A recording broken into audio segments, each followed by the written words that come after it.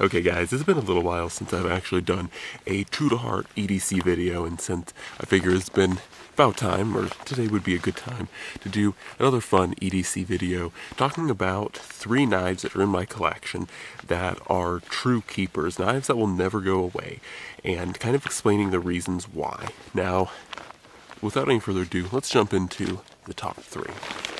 Okay, so we're going to start this off, or we're going to go from least to most expensive. And the first one is probably a knife that you guys haven't seen on the channel in a little while. This has actually been um, behind the scenes, and I do carry it occasionally. But this is a Brous Blades Silent Soldier V2 with a drop point blade to be specific. And this is a knife that is never going to leave the collection for a couple of reasons. First, like most of the knives that are never leaving my collection, it's a knife that I actually looked at and wanted to get for years. And they're not the easiest thing to come by. They were custom made by Brous. Uh, you know himself and they were never made in high volume because Brous really doesn't do that or Jason Brous really never did that and so they've always been a little bit harder to come by but what the other reason why these or the this guy will never leave my collection is just due to the fact of how interesting and unique the blade shape and blade is on this thing. I mean, when you look at it, you know, this thing has such a unique design to it. You know, just it has these finger holes, and you know, you put your hands like your hand like this. You know, it doesn't seem like it would have a really good traction, but it does actually grip up very well. It feels good in the hand, and it's just such a tiny blade. I really love how this thing was designed.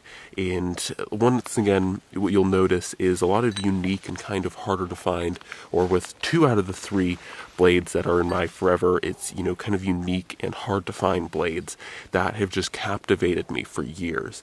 And once again, you know, this one took me a few years to get. Granted, it wasn't very expensive, but like I said, these things are just harder to find. And I don't believe Brous makes these anymore because of some turmoil with SOG, because SOG originally collaborated to make the Snarl, and there were some legal issues with the Snarl and all that crap. And it was really unfortunate because SOG really ruined uh, a really great blade here. I mean, these uh, Silent Soldiers are really cool, and it's a shame that they aren't really more prevalent, and that SOG kind of stole the idea and made their, you know, kind of cheap knockoffs the snarl, which not to say that the snarl is a bad knife per se. If you have one, they are just fine. But what I don't really like about the snarl is the fact that it's basically just ripping off um, design and not really giving him credit for it. So, anyways, that is a Brous Blade Silent Soldier. This is what its little sheath looks like, and these are just awesome little neck knives. I mean, they're so great, they're so tiny, and while I don't always carry this one, I'm never going to get rid of it because of what it means to me uh, just how unique it is, how rare it is, and really how cool it is. Uh, one thing that all the knives on this table I'm going to show uh, have in common is, as Wranglerstar would say, they give me the fizz. Like, they, there's just a certain level of fun and joy that I get out of using each and every one of these knives, even if I don't use them every day. Okay, so the next one is probably the most common of all these knives. So the next one is the most common of all these knives, but this is a Microtech Ultratech, and this is kind of the one exception to the rule that while I may not have always this particular Ultratech, I'm always going to have an Ultratech in the collection. This is one style or kind of brand of knife that I'm never going to get rid of, and you know, I've played with a lot of auto knives through the years, you know, button release, side open autos, uh, other OTFs, and the Ultratech is just kind of the gold standard, and it's a perfect size, and it works very well for everyday carry tasks, and it's just, once again, one of those knives that gives me the fizz every time I use it, because it's a fun little knife to open and close, and it still has a really high quality steel blade, the action is really nice, fairly smooth, and overall, this is just a, a fun knife to have in the collection, being what it is, and it kind of has a tactical-esque vibe. I like it a lot. Uh, once again, looking at the blade and looking at the overall just styling, these things are really classic and pretty stylish in my opinion. They're not necessarily revolutionary for what they are, but they are still really cool and definitely a part of the knife culture forever. Okay, so the last one, and I'm saving the best for last and the most expensive for last, is the Benchmade 630 Skirmish.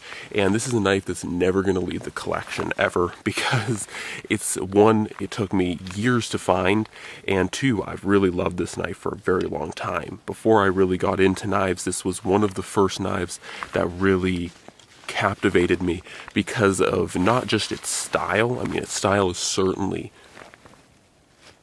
its style is certainly unique, but also the fact that they blended, you know, really high quality materials like titanium, S30V, uh, into such a stylish and unique blade shape. And these things are rare, they're different, especially for their time. You really didn't see much like this. I mean, it has very much Spyderco esque vibes to it because, you know, it has a thumb hole opener. It's followed up by several holes on the blade. You know, it also has holes on the handle. But uh, just everything about this knife, once again, gives me the fizz to use it, to open it, to play with it, just to, just to have it overall is a real treat. And I, I really enjoy it. So for those reasons, I'm never going to get rid of the skirmish. And in fact, I carry the skirmish a lot because I just love having it. I love playing with it. and it's just a fun knife to have. Not to mention, it's all also very utilitarian. So they not only made, you know, this very unique blade or this very unique, you know, overall knife, but they made it very functional. You know, this is a fairly thick piece of S30V blade steel. You know, this isn't something that's super fragile. It has a nice spear point tip to it.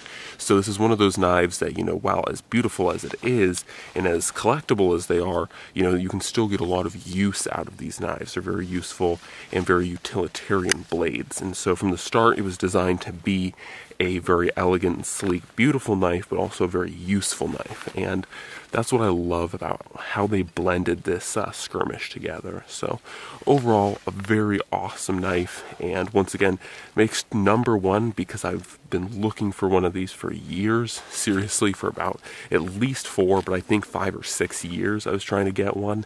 And, you know, they're not cheap, but they're a lot like the Brous blades.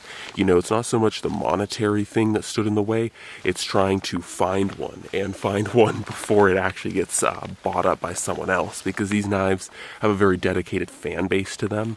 And so while it's not a very large fan base, when people see a skirmish, they're just like, hit the buy button because they want like every single skirmish in the collection. So, yeah. Anyways, this is a 630 skirmish by Benchmade, and this is my number one. But going through the order, it's the Brous Blade Silent Soldier, Microtech Ultratech, and the 630 skirmish. Anyways, guys, hopefully you've enjoyed this EDC video, taking a look at three knives at that are not only my favorites, but are just something that give me a lot of joy to use. They're a lot of fun to have in the collection. And like I said, I really love having these three knives and they're never to get sold out. Anyways, guys, that's all for now. God bless, and I'm out.